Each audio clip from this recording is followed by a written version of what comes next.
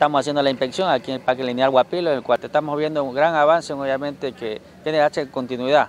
Esto, todos los proyectos que se han acabado a cabalidad por, por, proyección y planificación a través del alcalde Johnny Fernández, obviamente son para dar cumplimiento obligatorio en las fases, obviamente que se están trazando los, los, las fases de tiempo de acuerdo al, DBC que se ha subido a, base de licitación. Esta obra tiene tres fases. La primera fase eh, es una inversión de 12 millones de bolivianos, contempla todo el tema del cerramiento, los parques infantiles, tiene la ciclovía, tiene la caminadora y bueno, el pórtico también, ¿no? Entonces nosotros ya tenemos actualmente un avance del 15%, justamente estábamos haciéndole el reporte aquí al alcalde de que esta obra nosotros tenemos eh, estimado hacer la entrega oficial de la primera fase para el mes de abril del próximo año como, como un regalo al aniversario del Distrito Municipal número 7 y bueno, ya paralelamente nosotros estamos trabajando en la elaboración de la segunda fase que son las obras complementarias para que este Parque Lineal Guapilo sea una de las obras más importantes en beneficio de toda la ciudad.